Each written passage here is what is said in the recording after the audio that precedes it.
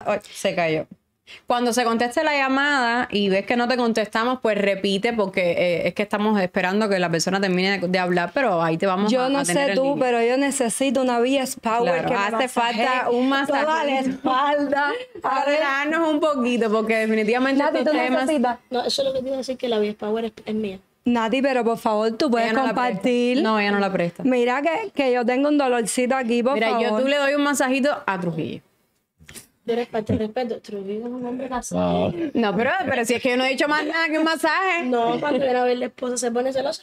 Bueno, entonces mira, no le vas a dar el masaje, entonces recomiéndale la Ese- plataforma. Exacto, Trujillo, te puedes comprar las masajeadoras que tenemos aquí en VS Y la plataforma vibratoria. Exacto. No sé si sabes de ella, pero mira, te va a ayudar muchísimo con la apariencia de la piel, a mejorar la circulación, a tonificar los músculos. Después que sales de gimnasia, como me está pasando a mí, Nati, que empecé a hacer ejercicio y saco toda contraída y adolorida, lo Sí, mejor que hay, no, lo mejor que hay es tomarte 10 minutos y subirte encima de la plataforma y te va a ayudar. Pero si no tienes tiempo de ir al gimnasio, también con 10 minutos encima de la plataforma vibratoria, vas a estar sustituyendo una hora de gimnasio, una hora de tiempo convencional en el gimnasio. ¿Tú tienes 10 minutos? Yo siempre tengo 10 minutos. ¿Tú tienes? 10 minutos? Menos entrenamiento ese en la plataforma ni el. Yo sí tengo 10 minutos. ¿Y tú le Yo tengo 10 minutos. Todos tenemos 10 minutos para hacer BS Power. Vamos a un corte y regresamos.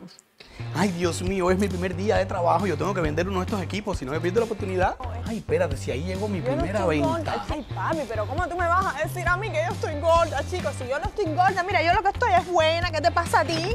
Y aparte tú ni me atiendes, ni me das un Oye, masaje. mi niña, ven para acá que yo tengo la solución para ti. Deja el chiquito ese, vieja. Ven. Bye. Dale, dale, que yo tengo la solución. Te voy a enseñar a ti lo que es la vía.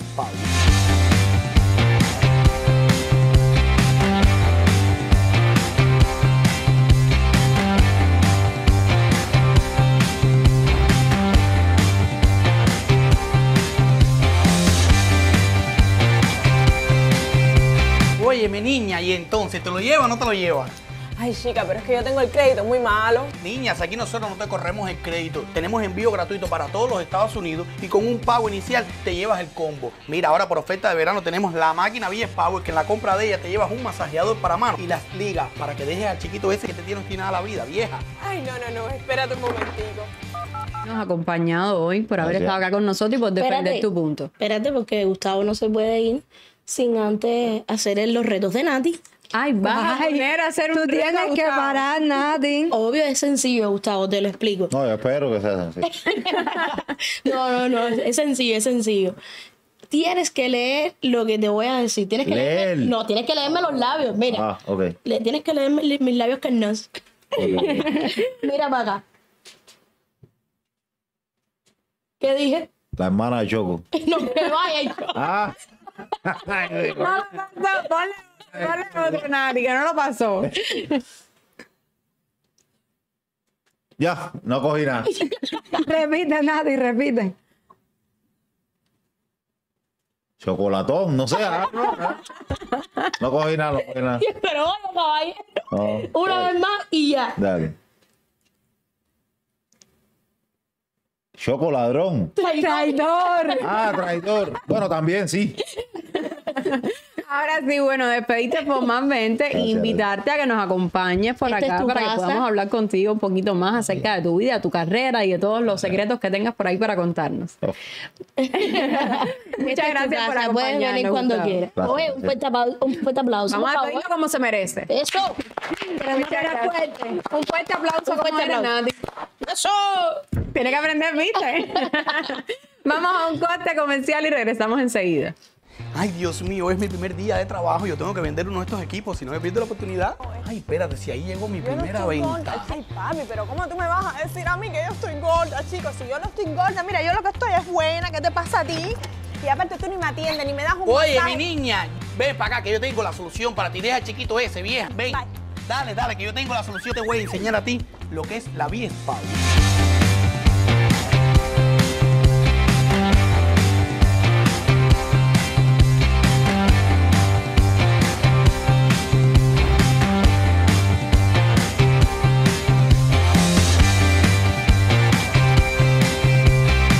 Niña, y entonces, ¿te lo lleva o no te lo lleva? Ay, chica, pero es que yo tengo el crédito muy malo. Niñas, aquí nosotros no te corremos el crédito. Tenemos envío gratuito para todos los Estados Unidos y con un pago inicial te llevas el combo. Mira, ahora por oferta de verano tenemos la máquina BS Power que en la compra de ella te llevas un masajeador para mano y las ligas para que dejes al chiquito ese que te tiene obstinada la vida, vieja. Ay, no, no, no, espérate un momentico. Mi amor, esto se acabó. No, que se acabó. Te lo dije, eso es lo que tenías que hacer tú. Dámelo todo. Y bueno, ya acá de regreso y sabemos que muchas personas están a pendiente también por todo lo que vamos a estar tocando con nuestra paralegal.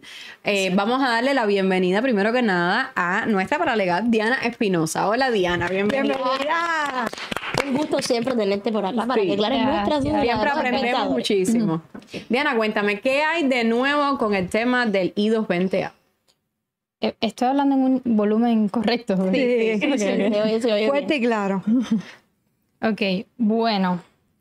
Resulta que hace, hace un rato hablamos, sin embargo, hace un rato también, digamos, hace unas horas ya, eh, acaba de haber, digamos, una especie de cambio con respecto a eh, lo que puede eh, determinar ICE o no.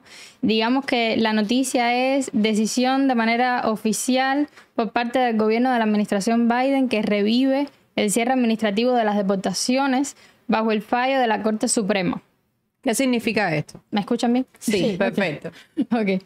Eh, ok, ah, significa que se le va a dar más poder a ICE, digamos, al Chief Consul, de cerrar los casos. Ahora, hay varios puntos aquí. Según dice esta noticia, esto es súper nuevo. Eh, puede que hayan especificidades luego a partir de, a partir de, eh, lo, voy a intentar decirlo lo más eh, literal posible. El punto es que la oficina del asesor legal principal de la Oficina de Inmigración y Aduanas, que bueno es eh, OPLA, eh, otorgó estos poderes extraordinarios a los fiscales de ICE para tomar las siguientes decisiones: el cierre administrativo, la terminación del caso y la moción de reapertura. Digamos que esto es importante para todas las personas que se encuentran en la corte con un proceso de remoción, tengan orden de deportación o no. Todas las personas que entraron por la frontera eh, de manera ilegal, en principio deberían eh, tener este tipo de proceso, pero bueno, ya sabemos que hay muchos que no. Sí. Pero la mayoría están en la corte y eh, ellos están en procesos de remoción. No significa que tengan una, una orden de deportación, sino están en ese tipo de proceso. ¿Y qué significa esto ahora? Pues que ahora estos fiscales tienen más poder, como decía, para tomar estas decisiones, eh, además de las que ya el juez tenía, ¿no? Porque siempre hay que contar con las dos partes, con, el fiscal y con el juez. Y el fiscal, que bueno, que representa al Estado. Ahora, eh, positivo de esto, el hecho de la moción de reapertura. ¿Qué significa? Esto puede ser positivo para personas que ya tienen una orden de deportación, por ejemplo, y que podrían intentar, eh, que se podría intentar reabrir su caso a partir de llegar a un acuerdo con el fiscal e intentar reabrir su caso con el juez. Por ejemplo, que tienen una petición familiar aprobada y quieren reabrir su caso para eliminar esa orden de deportación. Eso podría ser un ejemplo. Ahora, ¿qué pasa con eh, los cierres administrativos y eh, las terminaciones de los casos? Y de esto era de eh, lo que quería comentar. Sí, inicialmente. Exacto. La demanda con respecto a que la I-220A sea considerada un parol no ha sido aprobada. Porque es que muy rápido todo se malinterpreta y todos, todos comienzan, hay muchísimas personas en este caso y todo el mundo intenta buscar soluciones. Además, el cubano tiene esa característica, ¿no? Él intenta como llegar a- rápido a algo. Y entonces todo se malinterpreta demasiado rápido. Todavía la I-220A no es un parol. ¿Qué significa eso? Que eh, USCIS, que digamos es en general a quien se le pide intentar obtener eh, la, residencia, una persona con I-220A, y hablo de las personas con I-220A porque hay un montón de personas en esta situación, una persona con I-220A sin fecha de corte va a USCIS y le pide su residencia y siempre puede haber un oficial que, puede, que diga que no, que no entiende la I-220A como parol. ¿Por qué? Porque para que un cubano pueda aplicar la ley de ajuste cubano, una de las condiciones tiene que ser que haya sido admitido o haya tenido un parol. Amén de que en muchísimos casos aleguemos a USCIS de que esa I-220 debería ser considerada como, como un parol, porque es lo que lo estuve explicando el programa pasado, porque es lo que determina el título eh, 8 de las regulaciones federales. Amén de eso, sí, sigue siendo posible que el oficial diga que no. Y listo, esa persona no se, no se le da la residencia hasta tanto esa I-220 no sea considerado un parol. ¿Qué significa esto? Que aunque esto haya salido, lo cual es buenísimo, porque hay muchas personas que tienen I-220A, que están en un proceso de deportación, que tienen la corte el año que viene, pero o, o dentro de tres meses, que ya obtuvieron su permiso de trabajo incluso, porque ya aplicaron a su asilo, porque pasó el tiempo que debía pasar, ya aplicaron su permiso de trabajo y no quieren, no tienen el dinero incluso para pagarle un abogado y defender todo su proceso. Eh, y además, quitando eso, es difícil ganar un caso de asilo en la corte. Es positivo para ellos porque podrían pedirle a ese juez que le cierre eh, el caso, menos administrativamente, y ya mm, digamos que eso significa que no tendrían una corte, eh, digamos, en el docket y no van a estar en peligro, digamos, de deportación, pero no significa que pueden obtener un estatus migratorio. O sea, no podrían obtener su, su residencia. Ok, ellos, para obtener su residencia, ellos incluso podrían intentar pedir la residencia al juez. Lo que pasa es que para que un juez dé la residencia, normalmente eh, convoca a un individuo a hearing, que es el hearing final, normalmente necesita que haya un abogado, digamos, en la, en la generalidad de los casos, entonces ese proceso se complica. Hablando de ir con USCIS, que es el proceso más común y, y, digamos, eh, civil que todo el mundo utiliza y es el que, el, que se ha utilizado en, la mayoría de los casos y que, eh, digamos, es un proceso que, que funciona eh, mucho más común y, mm, ¿sabes? Muchas personas en, en esa situación, pues digamos que no le garantiza obtener un estatus migratorio. Entonces, si es cierto que el cierre administrativo significa, estoy intentando más o menos explicar todo esto para que las personas entiendan, porque luego ah, se va, yo sé que se va a malinterpretar. Sí, son muchos términos también. Sí, eh, si bien es cierto que el cierre administrativo significa que la persona sale, eh, digamos, no tiene una corte futura, pero sigue perteneciendo a la corte, es decir, la jurisdicción de su caso la sigue teniendo su, eh, eh, digamos, la corte de inmigración. También ha habido muchísimos casos, en que, y a mí me ha pasado, en que hemos pedido una corte de cierre administrativo con I-220A, porque, por supuesto, alegando que esa persona podría aplicar la ley de ajuste cubano porque esa I-220 debería ser considerada un parol. Y ese juez ha dicho literalmente en su respuesta que esa persona está disponible, o sea, que ha, digamos, granted, que ha aceptado esa, esa motion y que esa persona está disponible para aplicar la ley de ajuste cubano. Entonces, habría que ver, y por supuesto pasó hace poco tiempo, no sé si, si USCIS le da la residencia o no, pero habría que ver si realmente un oficial de USCIS se va a oponer a que un juez literalmente diga que esa moción de cierre administrativo es granted y que puede aplicar la de ajuste cubano. Entonces, ¿a dónde quiero llegar? Que si tal vez eh, una persona con cierre administrativo sí podría aplicar la a, a la, a la amén de que la jurisdicción sigue en su caso. Habría que ver en este caso, por ejemplo.